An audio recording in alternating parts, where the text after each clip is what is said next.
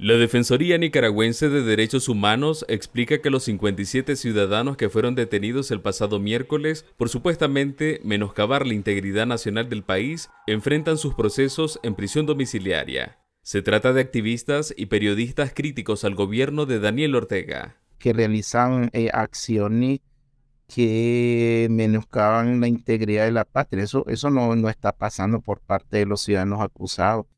De acuerdo con este veterano defensor de derechos humanos, la intención del gobierno es obligarlos a autoexiliarse.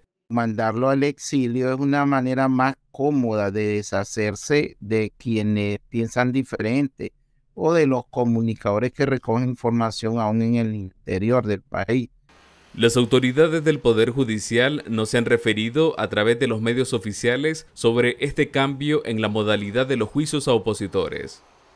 A juicio de Gonzalo Carrión, el silencio podría ser porque el propósito del gobierno es que los 57 acusados elijan el autoexilio. De esa manera se, garantiza la represión que la gente atemorizada, con temor fundado, porque cómo abandonar el país con, sabiendo que, que está acusada, que está con la posibilidad real de inminente un nuevo encarcelamiento, con acusaciones infundadas y obligados en ese procedimiento de desgaste.